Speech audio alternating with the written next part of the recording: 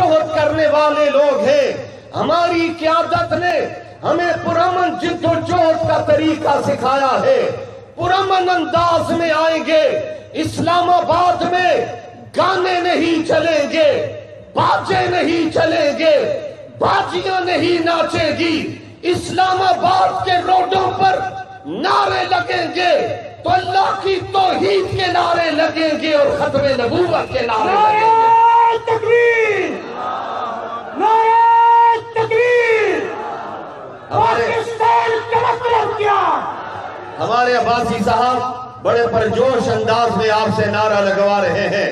میں آپ کے نعرہ اسلام آباد سے باہر لے جانا چاہتا ہوں گالا تک لے جانا چاہتا ہوں، لاہور تک لے جانا چاہتا ہوں۔ اور شاعر نے کہا تھا، لگاتا تھا تو جب نعرہ، خیبر توڑ دیتا تھا، حکم دیتا تھا، سمندر کو تو رستہ چھوڑ دیتا تھا۔ نعرہ تکبیر پاکستان کا مطلب کیا؟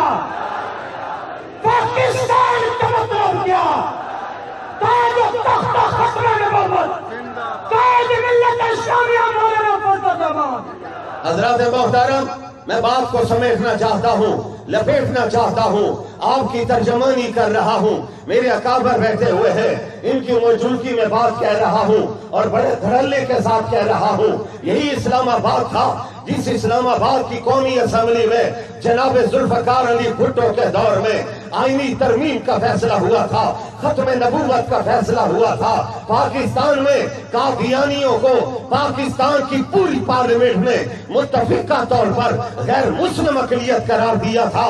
مفکر اسلام حضرت مولانا جبر کے ذریعے ہوا تھا، پاکستان میں یہ قانون بنا تھا تو مسلمانوں کی تحریک کے نتیجے میں بنا تھا۔ میں آج میڈیا کے دوستوں آپ کے ذریعے سیکولر لابی کو، امریکہ کی لابی کو، ہندو لابی کو، یہودی لابی کو پیغام دینا چاہتا ہوں۔ میرے ایجنسی کے لوگ بھی بیٹھے ہوئے ہیں، پولیس کے لوگ بھی بیٹھے ہوئے ہیں۔ میں اپنے نوجوان طالب علموں سے کہا کرتا ہوں۔ اس کے مصطفیٰ نکالو، سنو امریکیوں تم آؤ پاکستان کی، اسلام آباد کی گلیوں میں بھی آ جاؤ، تمہیں کلین شیف جوان ملے گا، ٹی شرٹ پہننے والا جوان ملے گا، لیکن یاد رکھنا، اس کے خون کے قطروں کو چیک کر لو، تمہیں مسلمان کے خون کے قطرے قطرے میں انشاءاللہ عشق مصطفیٰ ملے گا۔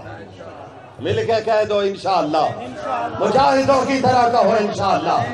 میرے بھائیوں، میں بات ختم اختتام کی طرف لے جا رہا ہوں۔ میرے اکابرین آنے والے ہیں۔ جملے دو سن لیجیے۔ جبر کی بنیاد پہ نہیں ہوا، فیصلہ دلائی کی بنیاد پہ ہوا تھا۔ حضرت مولانا مفتی محمود رحمت اللہ علیہ نے سولہ دن تک ان کافروں کے سوالات کے جوابات دیے تھے۔ اور آج تم یہ چاہتے ہو کہ پاکستان کو سیکولر بنا دے پاک فوج کے ترجمان فضل آصف فضل غفور نے ایک جملہ کہا تھا اور انہی کے جملے پر ایک جملہ کہہ کے میں اجازت چاہتا ہوں۔ انہوں نے کہا تھا، ہم ہندوستان کو بتانا چاہتے ہیں کہ ہم آخری فوجی تک لڑیں گے، آخری گولی تک لڑیں گے۔ میں آج ہندوستان سے بھی کہنا چاہتا ہوں اور پاکستان میں امریکہ کے غلاموں سے بھی کہنا چاہتا ہوں۔ ہم انشاءاللہ پاکستان کے لیے بھی، دین کے لیے بھی آخری گولی تک بھی لڑیں گے، آخری سانس تک بھی لڑیں گے۔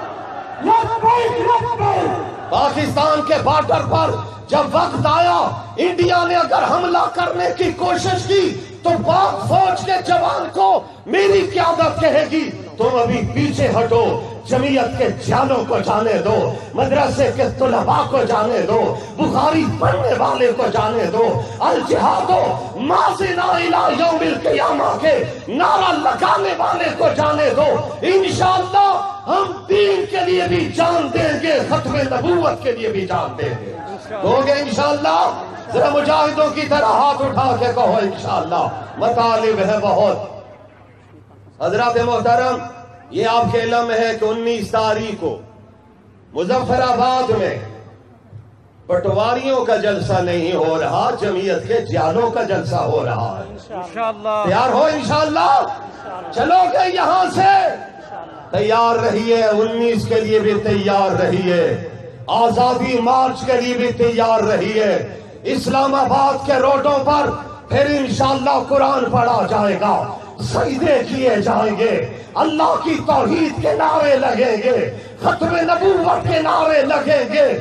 سیالے جمعیت کے پرچم لہراتے ہوئے پرامن انداز میں آگے بڑھتے ہی چلے جائیں گے۔ انشاءاللہ۔ ویڈیو کے نیچے سبسکرائب کے بٹن پر کلک کریں۔ بیل کے آئیکن پر کلک کیجیے تاکہ ہر نئی ویڈیو کی نوٹیفیکیشن